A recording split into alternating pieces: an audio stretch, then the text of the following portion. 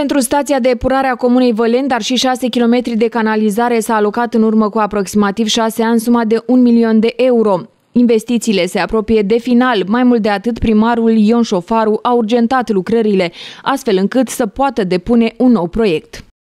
Stația pe care o vedeți aici, suntem în stadiul final și urgentăm să o dăm în folosință, întrucât de uh, finalizarea ei depindem uh, cu celălalt proiect de extindere rețea de canalizare în Comuna Văleni. Deci avem finanțare aprobată pe un, pentru un al doilea proiect de extindere rețea, dar nu putem să semnăm contractul, nu putem să depunem proiectul dacă nu facem dovada că stația de epurare este finalizată. Tocmai de aceea băieții lucrează, după cum se vede, cu utilaje, cu forță de muncă manuală, cu tot ce e nevoie, astfel încât în termenul cel mai scurt să putem face recepția acestui obiectiv și noi să putem uh, depune proiectul pentru care, repet, avem finanțare aprobată prin sistemul de finanțare Angel Salini.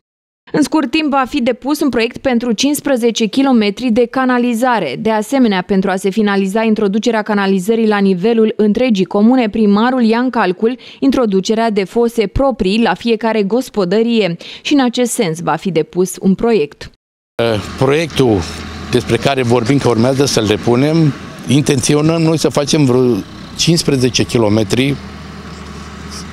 sau rămâne de văzut. Important e că noi avem o sumă de 112 miliarde lei vechi sumă în care noi trebuie să ne încadrăm cu costurile. Cât se va realiza, că nu mai știm la ora actuală care sunt prețurile. Nu mai știm. Să vedem în câți kilometri ne vom încadra. Comuna Vălini este o comună mare. Are nevoie de mulți kilometri de canalizare. Da, funcție de banii care primim și noi din când în când, căutăm să rezolvăm problema.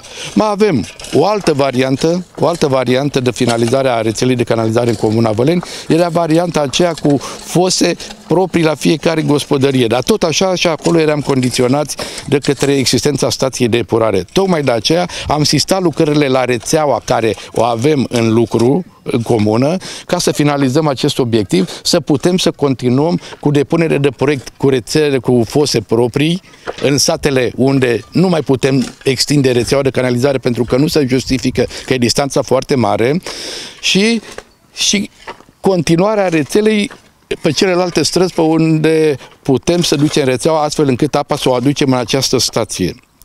Administrația locală a investit totodată și în sistemul de monitorizare video a localității. În acest sens a fost achiziționat un sistem de 20 de camere plasate în punctele importante. Potrivit edilului Ion Șofaru, implementarea sistemului îi ajută foarte mult pe oamenii legii, care de cele mai multe ori când sunt evenimente pe raza localității, primăria este principalul punct de plecare în anchetă.